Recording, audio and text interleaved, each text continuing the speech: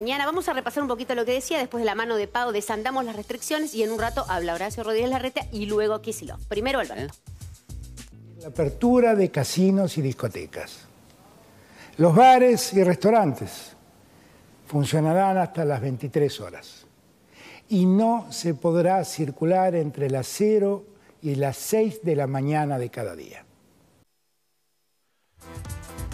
Ahí estaba, Vero, el Bien, presidente. vamos a ir con este, Sí. desglosando todo lo que dijo el presidente de la Nación.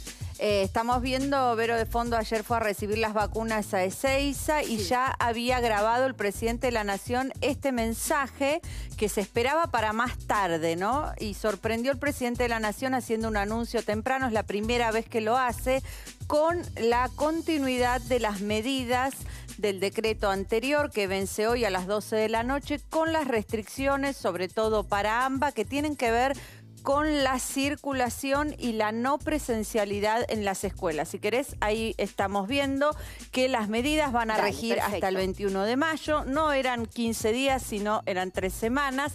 La restricción para circular de 20 a 6 de la mañana se mantienen.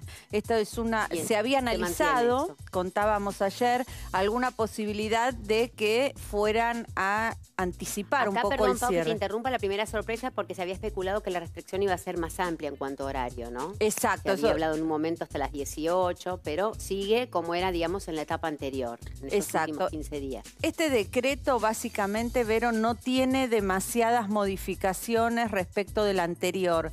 El nuevo decreto que va a firmar el presidente, que se va a poner en vigencia a las 12 de la noche, lo que hace es mantener básicamente las restricciones como